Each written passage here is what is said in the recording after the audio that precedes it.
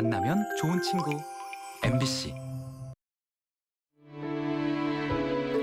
숲속의 여느 생명처럼 가장 아름다운 빛을 발한 후 찬찬히 소멸해가는 작품들이 있습니다. 자연미술가로 40여 년 활동해온 강희진 작가의 작품들인데요. 자연을 정복이나 개발의 대상이 아닌 본래의 상태로 되돌리자는 뜻으로 태동한 자연미술. 강희진 작가에게 지구는 하나의 커다란 캔버스고 자연은 무궁무진한 소재로 이루어진 상상의 원천입니다. 자연과 인간의 행복한 공존을 꿈꾸는 강희진 작가를 소개합니다.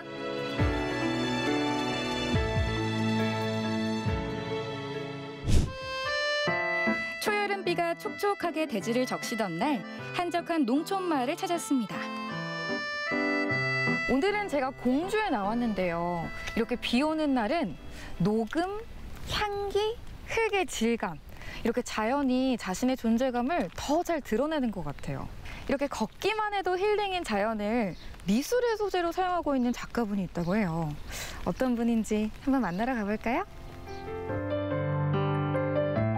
푸르른 숲으로 둘러싸인 이곳이 오늘 만나볼 작가의 작업실입니다. 안녕하세요.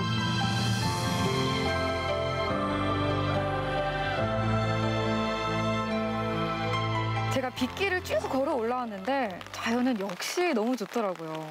근데 이 자연에 미술이 더해졌어요. 이 자연 미술이란 정확히 뭔가요?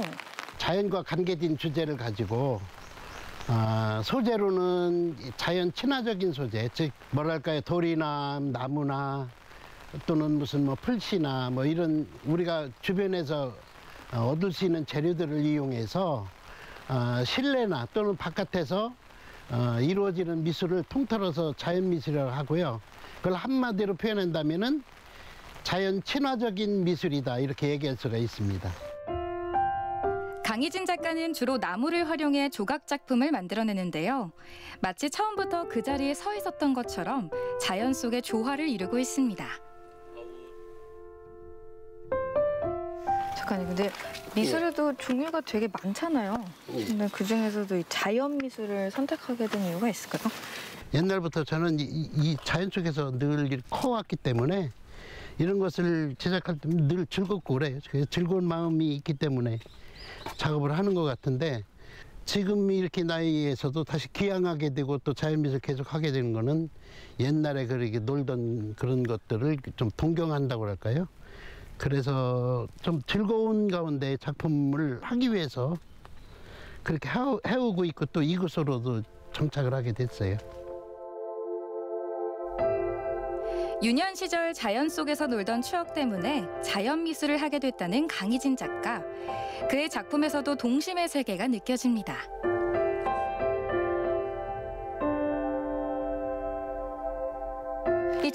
보니까 그냥 자연 미술 그 자체인 것 같아요. 굉장히 견고하고요. 네. 자연의 소리를 대변하는 것 같은 느낌까지도 들어요. 어떻게 보면은 이 자연과 잘 어우러지는데도 이- 형태상으로는 어떤 소리를 이렇게 뭔가 좀 이 울리는 듯 전달하는 듯한 그런 느낌도 들, 들고 있거든요. 예, 그렇게 생각이 들어요.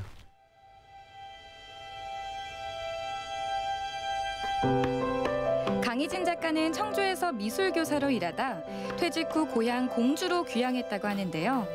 좋아하는 자연 속에서 창작 활동을 마음껏 할 수 있어 은퇴 후의 삶이 행복하다고 합니다.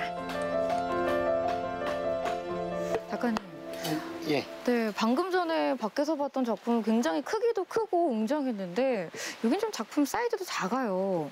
이건 어떤 작품 하고 계신 거예요? 예. 저는 이제 주로 어, 팡팔에 이런 그 제목으로 제가 쭉 계속 연작을 해오고 있어요.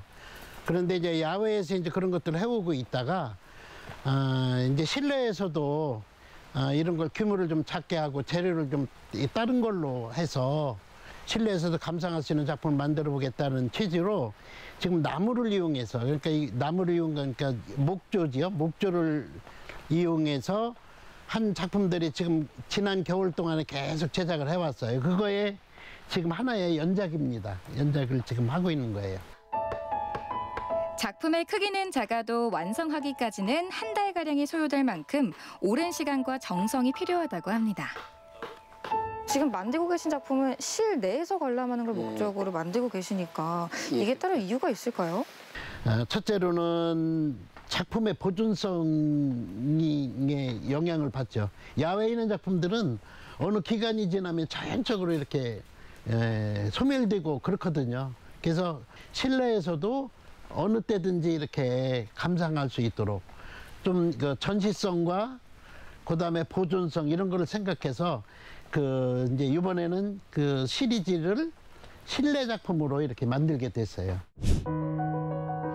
작업실 옆 갤러리 안에는 강희진 작가가 평생에 걸쳐 작업해온 작품들이 가득합니다. 자연에서 얻은 돌을 소재로 혹은 나무의 가시로 다양한 작품들을 표현했는데요. 야외 공간의 대형 설치 작품과는 또 다른 느낌을 안겨줍니다.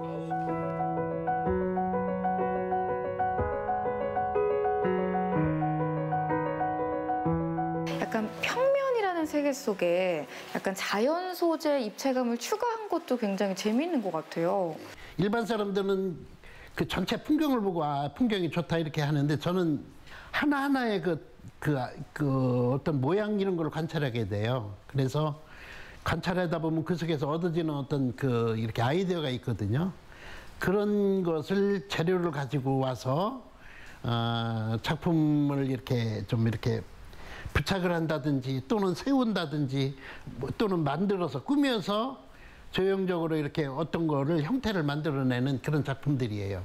그래서 보시면은 그 자연물 그 자체의 하나하나의 그 특징들이 뭐 내가 임의로 막 바꾸고 그러지 않고 그 자연의 그 형태라든지 또는 그 독특한 어떤 특징을 살리는 작품들이 주로 여기 있다고 보면 될 거예요. 자연미술은 1980년대 초반 우리나라 공주에서 태동해 전 세계로 번지면서 새로운 예술 장르로 발전했다고 하는데요. 강희진 작가는 국내는 물론 영국을 비롯해 멕시코, 불가리아, 일본 등 세계 각국의 자연미술가들과 다양한 그룹전을 통해 교류하며 호평을 받아왔습니다. 그런데 올해 초에는 반가운 소식도 들려왔다고 하네요. 작가님, 이 작품이 이제 영국의 왕립미술관에 소장이 됐다고 들었어요. 이거는 어떤 작품이에요? 가시의 그 날카로움과 그 다음에 피라는 것은 우리 사람의 생명을 뜻하잖아요. 그래서 생명과 그 다음에 어떤 그 고통스럽잖아요. 그런 거 이런 것을 에, 그런 의미가 함축된 그런 작품이라고 할 수가 있어요. 아니 근데 이 작품이 대한민국도 아니고 영국의 왕립미술관에 소장이 된 거잖아요. 이게 어떻게 좀 건너가게 된 걸까요?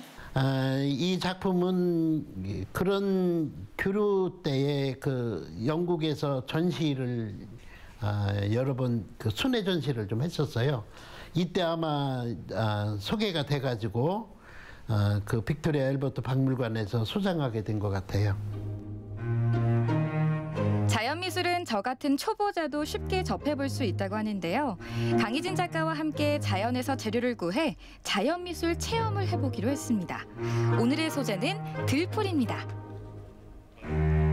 굉장히 소재가 많잖아요. 예, 그렇죠. 뭐 이런 풀도 있고 뭐 나무도 있고 돌도 있고 작가님은 주로 뭐 사용하세요?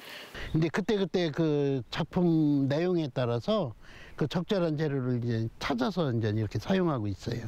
다 했다. 자, 그럼 이제 이걸로 한번 작품 만들어 보러 갈까요? 자, 드디어 자연에서 얻은 소재로 작품을 만들어 봅니다. 무심코 지나쳤던 들풀을 제가 어떻게 활용해 작품에 반영할지 기대해 주세요.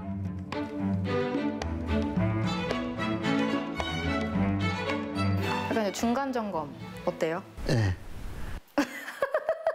작가님 왜 말을 잊지 못하세요? 미술은 열린 세계 아닙니까? 잘 표현은 됐는데 네. 예.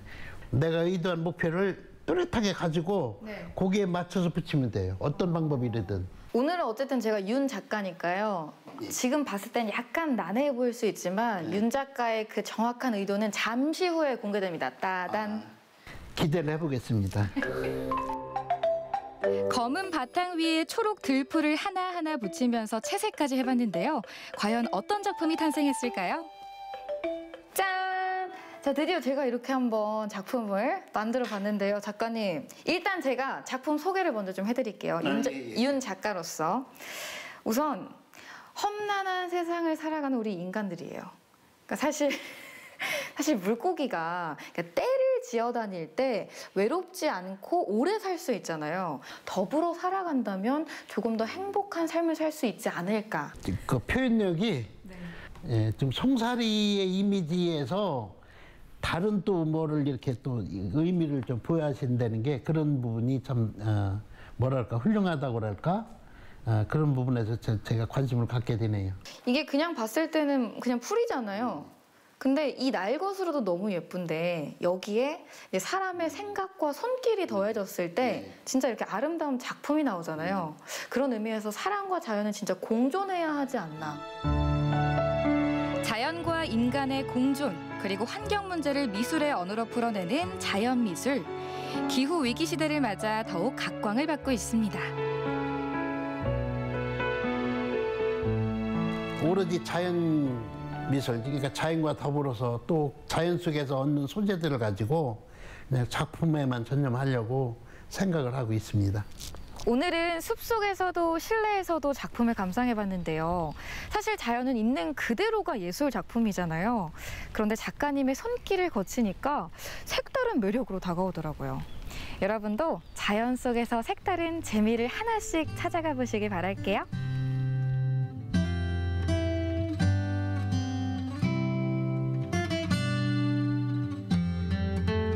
어린 시절 뛰놀던 자연은 황혼의 나이에도 여전히 가슴 뛰는 대상입니다. 새로움을 추구하기보다는 자연과의 공존을 꿈꾸는 강희진 작가. 인간과 자연의 지속 가능한 미래가 그의 작품 안에서 살아 숨쉬고 있습니다.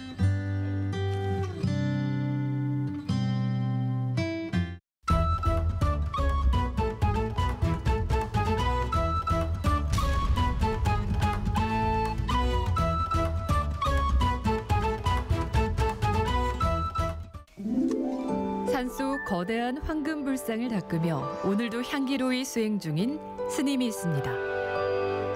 향을 피울 때 깨달음을 얻는다는 스님. 성종 스님의 하루를 지금 만나봅니다.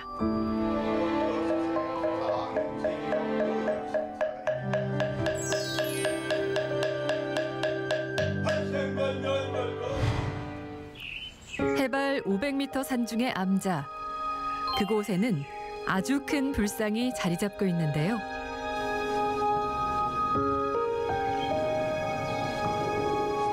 안녕하세요, 스님.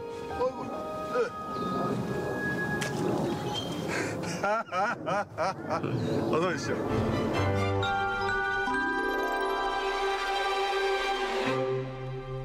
높이 10m, 너비 7.5m에 달하는 아미타 부처님의 불상.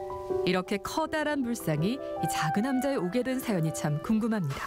어느 스님이 이제 이렇게 조성해서 이제 그 하- 하던 중에 그 스님이 이제 좀 새로운 형태로 하고 싶었던지 뭐 그래가지고 요거 한 거는 얼굴만 해놨던 거지 이제. 예, 그랬던 건데 그 다, 다른 방식으로 하겠다. 이래가지고 이제 요것이 이제 중단됐어 중단돼 있던 것을 음, 내가 이제 불상을 얘기하니까는 하다만 게 있다네 그걸 완성해 주면 안 되겠냐 뭐 그래서 뭐 할 수 없지 못하겠어요. 그래서 그렇게 하라고 언제 알았어 이제 그렇게 부처님 큰 부처님 모시고 나니까 뭐 좋습니다. 뭐 어, 이렇게 멀리 봐도 좋고 뭐 이제 그래서 뭐 신심도 나고 세상 모든 것이 그렇듯 큰 불상을 모시게 된 것도 자신과 깊은 인연으로 맺어진 결과라는 스님. 가만히 있는 부처님도 이렇게 뭐 때가 끼는데 사람은 얼마나 많이 끼겠나. 부처님을 목욕제게 시키며 자신의 마음속 때도 깨끗이 씻어낸다는 성종 스님. 손길이 닿으니 점점 광이 나기 시작하네요. 여기도 이제 큰 부처님 계시니까 사람들도 뭐 더러 기뻐하고 오이고 이러시라고 이제 이렇게 뭐 하고 이랬습니다. 스님을 따라온 곳은 마당 앞의 작은 텃밭. 자급자족의 삶을 지향하며 과하지 않고 먹을 만큼만 심었다고 하는데요. 가지, 뭐 고추, 뭐 토마토, 뭐 이제 그런 거 이렇게 심어놨어요. 심어놨는데 요 이제 풀이 요, 요 정도 올라올 정도 되면 한 20일에서 한 달 가까이 된 거거든요. 그때 이때 한번 싹 긁어주면 또 한 달 동안 또 깨끗해요. 스님의 텃밭에는 구기자, 명월초, 매실 등 다양한 약초들도 함께 자라고 있다는데요. 계절마다 자란 약초를 햇볕에 잘 말려 곱게 빻아 가루로 보관합니다. 자연에서 얻은 이 가루는 곧 스님이 만드는 향의 재료가 된다고 하는데요. 10여 년 동안 수많은 시행착오를 겪은 뒤에 천연향을 만드는 방법을 터득했다는 스님.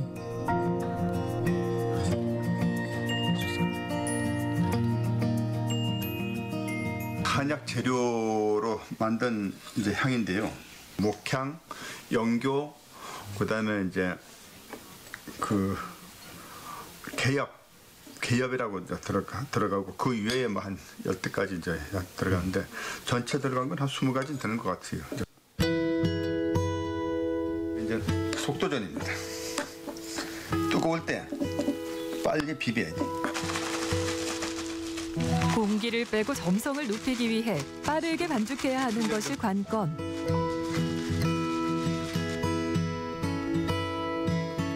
처음에 이걸 이제 배합할 때 어 떤 용도, 어떤 방향 이제 그걸 구상을 하고 이제 거기에 맞는 향들을 이제 이렇게 해서 만들고 이러, 이러죠. 이제 배합된 반죽을 향틀에 넣어 모양을 내면 되는데요. 이때도 너무 약하게 눌러서도 안 되고 세게 눌러서도 안 된다고 합니다. 향을 만들 때도 과하지 말라는 부처의 가르침. 옷에 그런 그 싸구리 향이 이제 너무 많다 보니까는 그만 스님들이 이 향을 피우면 짜증을 내요. 이제 그 향 냄새를 많이 맡아야 되는 스님 입장에서는 향 냄새를 맡아가지고 오히려 건강해지고 좋아야 되거든요. 예, 근데 그거를 그 이렇게 잘 구하기가 어려워서 차라리 그냥 향 만들자. 이제 이래 된 거지. 향은 부처님께 울리는 첫 번째 공양.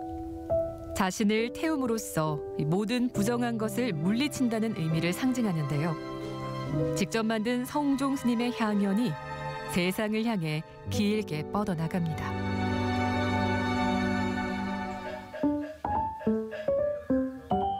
어느새 찾아온 공양 시간. 재료는 마당에서 자란 나물들이라고 합니다. 먹을 것을 사러 다니는 것보다도 이제 이렇게 먹을 때가 되면 한 바퀴 돌면 해결해야 돼. 이 구기자는 끝없이 땁니다.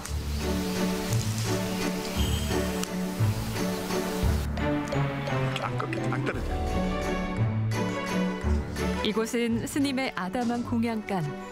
늘 직접 공양을 준비하다 보니 솜씨도 능수능란합니다. 있는 건 있고 없는 건 없고 뭐 있는 건 있는데 먹고 없으면 없는 데 먹고. 스님의 텃밭 재료로 만드는 소박하지만 향기로운 밥상이 기대가 되는데요. 갓 지은 밥, 정성스레 무친 구기자, 그리고 고춧가루를 넣어 만든 감자찌개가 완성됐습니다.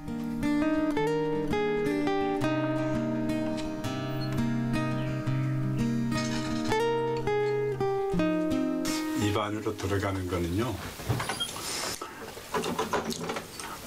그 하늘에서 주는 음식이다 생각하고 다 천공이라고 생각하고 드셔야 됩니다.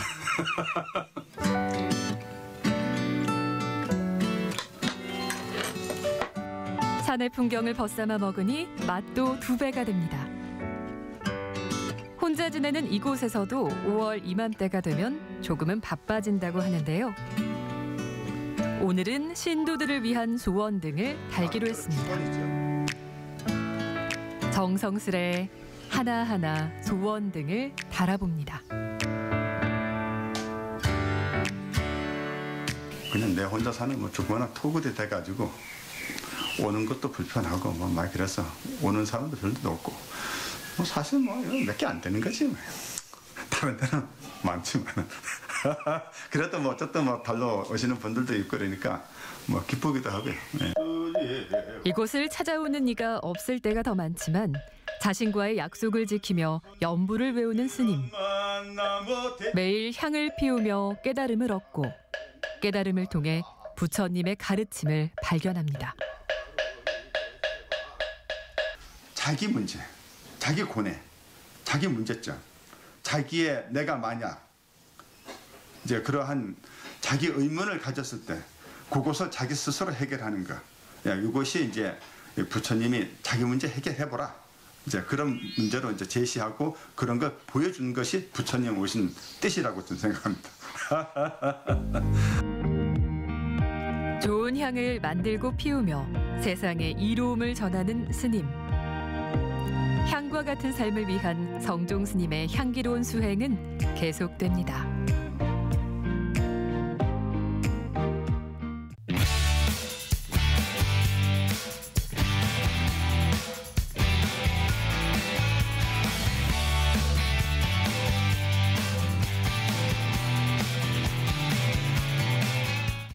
시대의 아픔을 온전히 느끼며 나라를 지키기 위해 노력한 이들이 있습니다.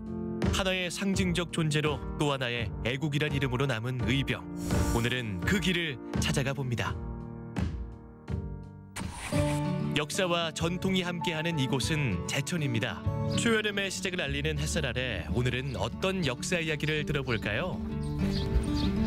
안녕하세요.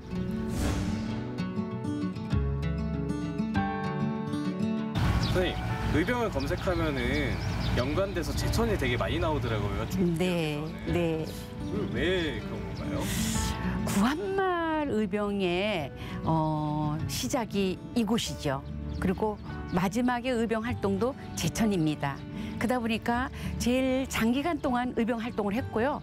그 다음에 또 최고의 피해지라 그럴까요? 그러다 보니까 아마 의병이란 단어와 제천은 꼭 연결될 수밖에 없는데요. 오늘 한번 이곳저곳을 보시면서 제천 의병의 역사를 한번 어, 같이 돌아보면 어떨까요? 평범하고도 아늑한 옛 모습을 한 자양영당은 제천 의병의 시작이라고 할 수 있는 곳인데요. 고즈넉한 이곳을 자세히 살펴보면 역사의 뒤안길을 거슬러 올라 범상치 않은 기운이 스며 있는 곳입니다. 아, 여기 지금 자양서사라고 돼 있습니다. 정사라는 어, 단어를 쓸 때는 연, 그러니까 학문, 한 학파에서 학맥을 이용해서 연구하는 기간을 정사라고 하였다고 합니다. 1889년에 춘천에서 성제 유준교 선생님께서 내려오십니다. 그래서 하서학파의 학맥을 이어오던 어, 자양 서사입니다. 1895년 단발령이 시행되자 많은 선비가 비밀 회의를 하고 의병을 일으켰는데요. 이를 호자 창의진이라고 하여 항일 독립운동 진원지로 평가되고 있습니다. 이곳은 주제학의 창시자와 화서학파의 맥을 잇는 대표적인 인물들의 영정을 모셔놓은 사당인데요. 조선 후기의 유학자인 유중교가 후학을 양성했던 곳이자 그의 제자 유인석이 나라를 구하고자 의병 봉기를 논의한 곳이기도 합니다. 영정을 모셔놓은 집이다. 이게 영당이거든요. 그래서 여기 이제 자양 영당이죠. 어, 여기는 여섯 분의 영정이 모셔져 있습니다. 유인석 선생님하고 숙제 이소흥 선생님께서 의병 활동을 하셨고요. 유인석 선생님 같은 경우는 의병 대장을 하셨고 또 1910년에는 고종 임금으로부터 도총재라는 어, 지위를 받습니다. 지금으로 말하면 국방부 장관이죠. 뭐 여느 시절에도 그렇겠지만 구한말 때는 특히 의병 활동했던 분들이 활동만 하는 게 아니라 전 재산을 의병에 쓰입니다. 그러다 보니까 가족들은 자연히 못 살 수밖에 없고요. 그래서 하사아파 맥이 끊깁니다. 의병 활동을 하면서 화사아파 맥이 끊깁니다. 이곳에서 그들은 어떤 이야기를 나눴을까요?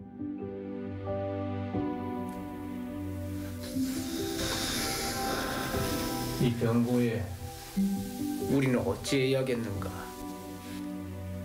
하늘 무서운 줄 모르는 저들의 경거망동을 더 이상 두고 볼 수는 없습니다. 마땅히 의병을 일으켜 맞서 싸워야 합니다. 아닙니다, 선생님. 그보다는 일단 타국으로 망명하여 추후 일정을 도모하는 것이 어떨까 합니다. 나라가 외놈들에게 빼앗긴 이 판국에 선비에서 막당히 목숨을 끊어 조상님들께 부끄럽지 않은 조선의 절제를 보유한다고 생각합니다. 목소리 낮추시게. 우리가 목숨을 끊은들 무슨 소용이 있겠어? 무언가 행동을 함이 옳다고 생각되옵니다. 고뇌 끝에 결국 의병을 일으키게 됩니다. 구한말 쓰러져가는 나라를 보며 한 목숨 바쳐 풍운을 막아보고자 애썼던 조선 의병의 넋이 흐르는 곳인 자양영당을 중심으로 서쪽에는 숭의사가 있습니다. 가을마다 제천 의병제가 열리는 곳인데요. 의암 유인섭과 함께한 의병들의 위패 뒤에 열 폭의 백지병풍이 둘러쳐져 있습니다. 조선말 13도 의군 도청제 유선생 희화 재현 신이라고 돼 있습니다. 그러면 어, 도청제라는 국방부 장관이거든요. 그러면 그 당시에 의병들의 모두 뭐 물론 대장도 있고 휘하도 있는데 모든 분들의 위패다 이렇게 보시면 맞습니다. 이건 이제 백자병풍이라 그럽니다. 이 의병이 활동하신 분들이 위패잖아요. 근데 이 당시에 의병 활동하셨던 분들이 물론 선비도 있겠지만 백성들도 많았거든요. 그, 그 많은 사람들을 이름도 알 수 없거니와 언제 죽었는지도 알 수 없기 때문에 적을 수가 없어요. 그래서 어, 제 눈에는 보입니다. 저 병풍에 빼곡히 의병 활동을 하시다가 돌아가신 분들의 이름이 새겨진 걸로 보시면 맞습니다.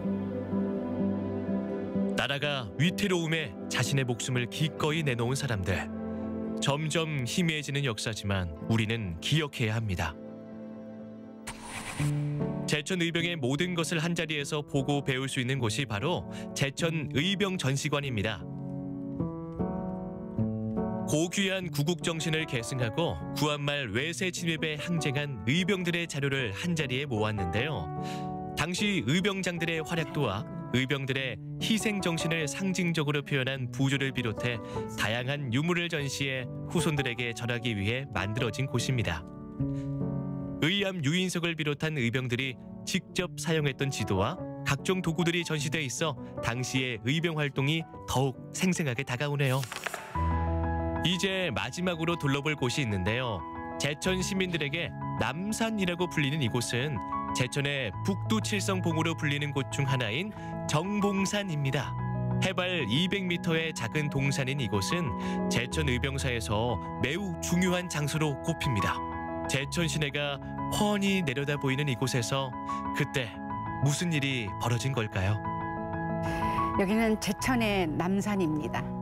뭐 서울만 남산 있는 거 아니에요? 각 지역마다 화기를 막아주는 역할을 하는 게 남산이라 그럽니다. 그래서 제천의 남산이 이곳인데 해발 한 170m 정도 되는 이곳이 그 구한말 의병사회 때 가장 치열했던 전쟁 남산 전투가 있던 곳입니다. 제천 남산은 제천 의병의 항일 정신이 깃든 격전지입니다. 명성황후 시의 사건과 단발령의 저항에 일어난 제천 의병은 기세를 떨쳤지만 일본군 수비대와 관군의 공세로 제천으로 후퇴해 남산에 주둔하며 버텼는데요. 결국 마을은 모두 불타버려 잿더미로 변하고 많은 의병이 이곳에서 순국하며 안타까운 최후를 맞이한 곳입니다. 마을 사람들이 살던 마을은 일본군의 방화에 불타 폐허가 되고 지도에서조차 사라진 마을이 돼버렸습니다. 구한말 의병 항쟁의 상징적인 의미로 남긴 기념탑에 그들은 하늘을 향해 두 팔 벌리며 당당하게 서 있습니다. 결과가 뻔한 가망 없는 싸움에 나선 이들은 그들의 미래를 알고 있었을까요? 제가 보실 때는 의병을 할 정도의 정신을 가신 분들은 아셨을 것 같아요. 그렇지만 선택의 여지가 없었고요. 어, 그분들이 호련히 선비나 백성들이 일어나지 않았더라면 오늘 아마 우리나라가 있었을까요? 아마 그러길래 그분들은 가족과 모든 것을 뒤로 하고 의병에 동참했을 겁니다. 저는 가끔 어, 영당을 찾아오시는 분들인데 마무리로 이런 말을 합니다. 대한민국이라는 큰 소나무가 있다면은 땅 속의 그 뿌리 한 줄기는 제천이다. 몰랐다면 그냥 지나쳤을 우리의 이야기. 역사를 제대로 알고 나면 새롭게 보이는데요. 매년 10월 초 제천에서는 제천 의병과 순국 선열의 숭고한 구국 정신을 기리기 위해 제천 의병제를 봉행합니다. 쓰러져 가는 나라를 위해 몸과 마음을 바친 의병의 숭고한 정신을 마음 깊이 새겨보면 어떨까요?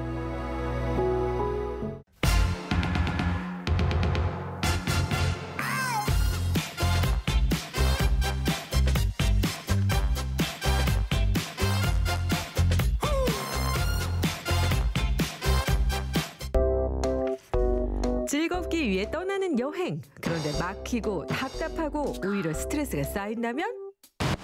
아우 안 돼요 안 돼. 생각만 해도 지쳐요 지쳐. 아우 노곤하다 노곤해. 노곤. 먼 길을 지치고 시달려서 생긴 피로나 병을 뜻하는 말인데요. 그렇다면 여행지는 몸과 마음이 편한 곳을 고르는 게 정답 아닐까요? 노곤한 여행 아니죠. 이제는 노곤한 여행 떠납니다. 자연을 연상케 하는 청송이란 이름에서 느낌 팍 오지 않나요? 오늘도 힐링 코스로 편안하게 모십니다. 이동 수단은 시내버스. 안녕하세요. 여보세요. 네 안녕하세요. 저 버스 요금이 얼마인가요? 무료입니다. 아, 청송 국민들은 무료구나. 그래서 어머님이 그냥 타셨군요. 아우, 좋겠다, 청송 국민분들은. 저는 청송 국민이 아니에요. 얼마예요? 청송에 타시는 모든 국민뿐만 아니라 모든 사람들은 다 무료입니다. 오! 청송군 내에서 시내버스를 타면 누구나 다 무료! 누구에게나 전면 무료라니요? 이것이 바로 노곤한 여행의 클래스입니다. 반응도 뜨거운데요. 시내버스 이용객이 전보다 20% 늘었단 말씀. 국민들의 발이 되는 이 시내버스가 무료니까 청송 국민들은 정말 좋을 것 같아요. 뿐만 아니라 이 청송을 찾는 관광객들도 이 시내버스를 타고 청송의 유명한 관광지, 맛있는 먹거리 다 만날 수 있으니까 더 좋고요. 주머니가 가벼워도 좋은 청송 여행 첫 번째 코스 바로 여기입니다. 물멍과 순멍을 동시에 청송의 지질 명소인데요. 길이 완만해서 5분만 걸으면 목적지에 닿을 수 있으니까 한마디로 발 편한 세상이죠. 와. 여러분 눈이 정말 편안해지고요 숨쉬기 정말 좋습니다 공기도 좀 다른 것 같아요 이 푸르름을 벗삼아서 잠깐 올라왔더니 이렇게 멋진 주산지가 저를 반겨줍니다 여러분 여기가 바로 주산지입니다 계절마다 다른 매력을 가진 주산지. 조선 경종 때 만든 인공 저수지인데요. 버드나무가 물속에 잠긴 신비로운 풍경 덕분에 인생샷 명당으로 통합니다. 와 정말 좋습니다 여러분 이 푸릇푸릇한 이 푸르름이 산 위에만 있는 게 아니라 물 속에도 있습니다 이곳이 어디? 바로 주황산 주산지입니다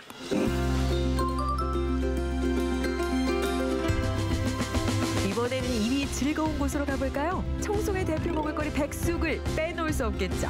화면을 뚫고 나오는 이 영롱한 차태.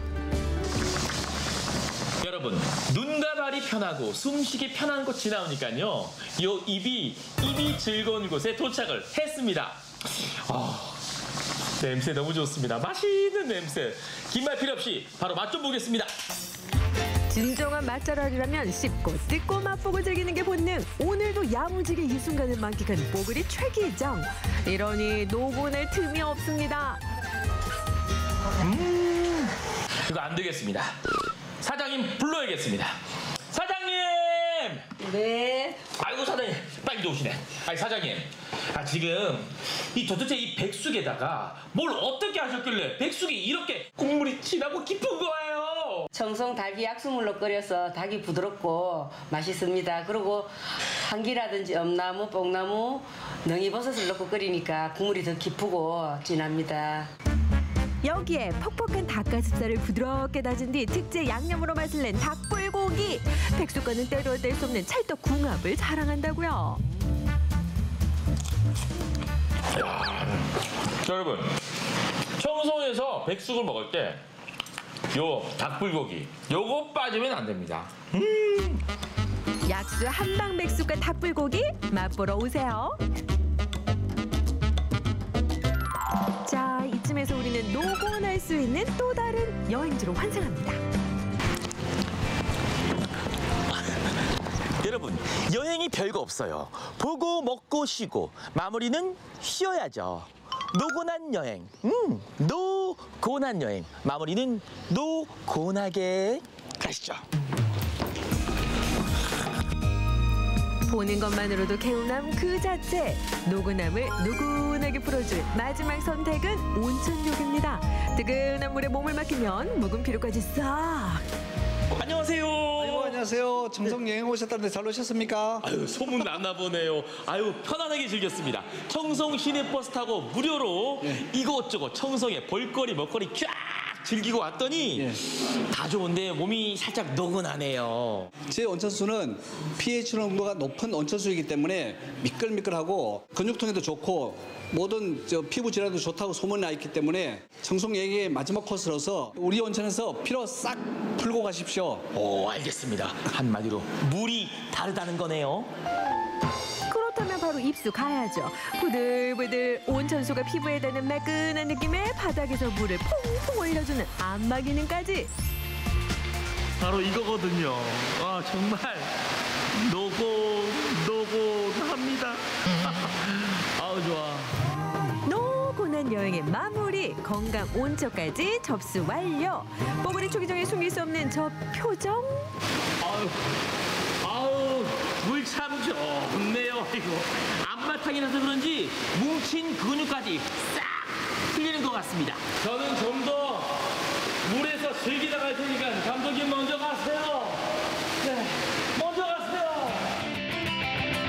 발이 편하고 숨쉬기 편하고 눈이 시원하고 입이 즐거운 청송 비로아 거라 주말 여행은 노곤한 청송으로 한들 돌리세요.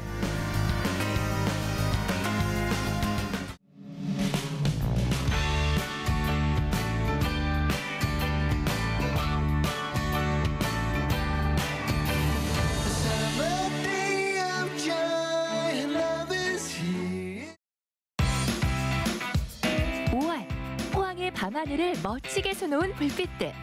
화려한 밤의 축제가 열렸습니다. 4년 전에 봤었는데 이번에 오랜만에 보니까 되게 반가웠고 불꽃도 너무 이뻐가지고 그리고 풍경도 너무 좋고 그리고 생각보다 불꽃이 너무 이쁘게 잘 피어서 너무 좋아.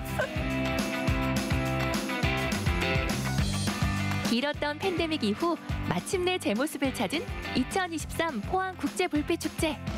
열기 가득, 행복 가득했던 현장으로 안내합니다.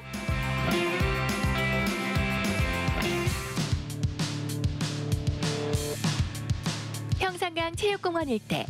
포항을 대표하는 축제의 날인 만큼 거리에 설렘이 가득 느껴지는데요.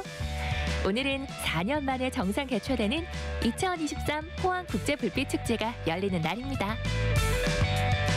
올해 축제는 Light On 포항 밤하늘을 비추다라는 슬로건으로 올해 약 4년 만에 저희가 정상 개최를 준비를 하고 있습니다.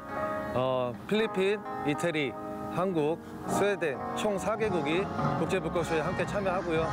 저희가 올해는 메타버스 온라인 행사장을 통해 어, 시민들이 직접 연화 연출을 하는 그러한 불꽃쇼도 함께 준비되어 있습니다.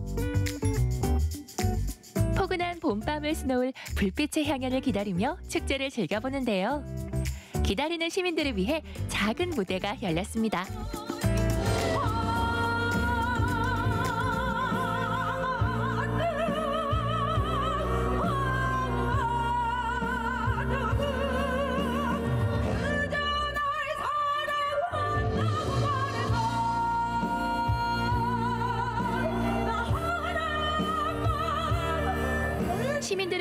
마련된 첫 번째 행사는 형산강 프린지 페스티벌.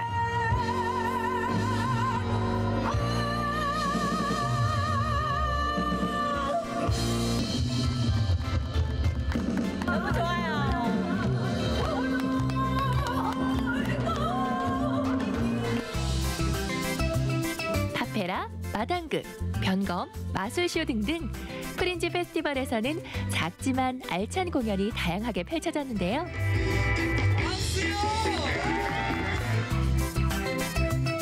지루할 틈 없이 이어지는 공연에 시간 가는 줄 모르고 축제를 즐기는 시민들. 우리도 이 축제를 잠시 즐겨볼까요?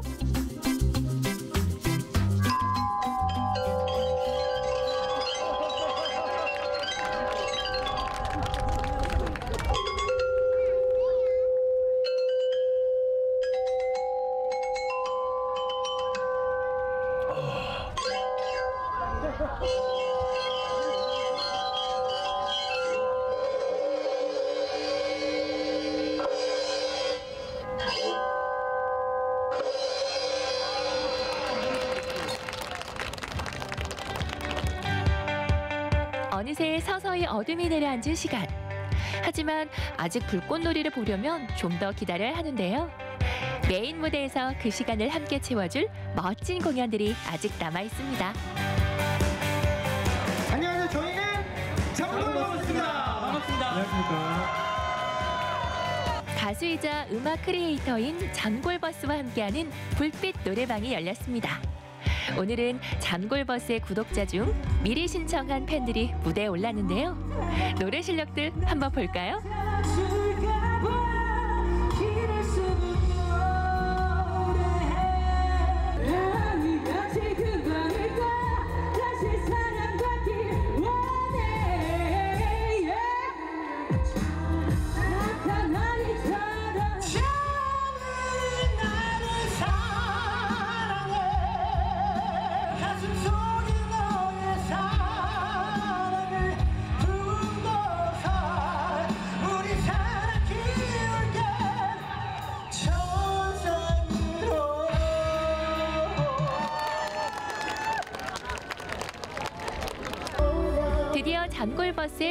공연이 시작되는데요.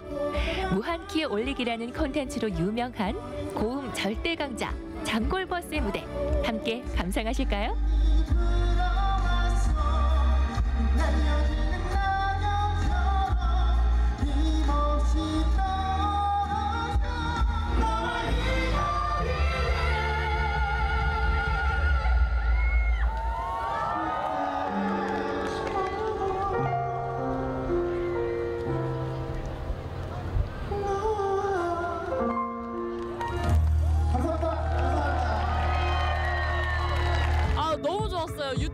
많이 원래 봤는데 실제로 보니까 노래를 더 잘 부르는 것 같아요. 장골버스 사랑해요.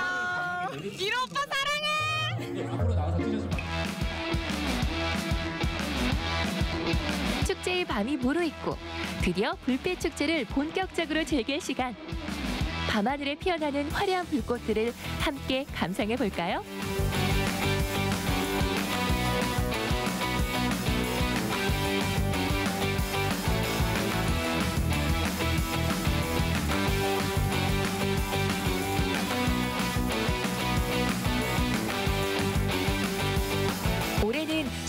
직접 디자인한 특별한 불꽃놀이도 볼 수 있다는데 이번에 새롭게 진, 진행되는 시민 디자인 불꽃쇼는 어, 포항 국제 불빛 축제의 메인 프로그램이 불꽃쇼를 어떻게 하면은 포항 시민들과 함께 할수 할 수 있을지에 대한 고민부터 시작이 됐습니다. 그래서 저희 온라인 메타버스 행사장에 사전에 공모를 받아서 이제 전문적인 그 불꽃 업체와 함께 어, 멋진 연화연출을 준비를 했습니다. 직접 선택한 신청곡과 사연을 토대로 만들어진 불꽃쇼라니 사연의 주인공에게는 잊지 못할 추억이 되겠죠.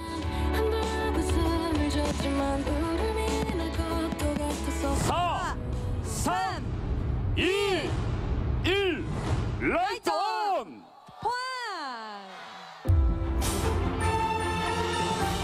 올해 국제 불빛 축제의 하이라이트 국제 불꽃쇼가 드디어 시작됩니다. 이탈리아, 필리핀, 스웨덴, 그리고 한국까지 4개국이 준비한 화려한 불꽃쇼 함께 감상하실까요?